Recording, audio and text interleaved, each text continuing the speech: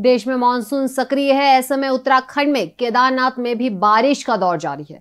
केदारनाथ जाने वाले पैदल मार्ग में बारिश की वजह से नदी नाले उफान पर होने के कारण यात्रियों को कई परेशानियों का सामना करना पड़ रहा है।